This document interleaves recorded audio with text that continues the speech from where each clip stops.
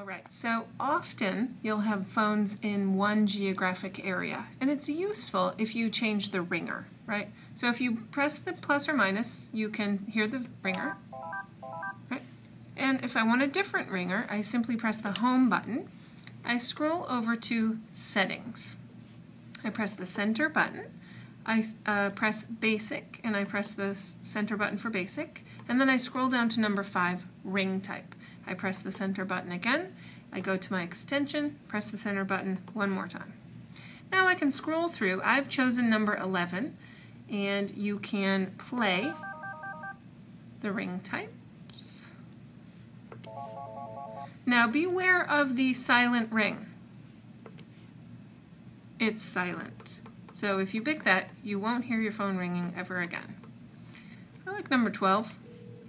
But if everyone picks number 12, then it defeats the purpose of changing your ringtone. So I'm going to select it. And then if I want to get back, I can press the home button a few times, and then I'm back at my home page.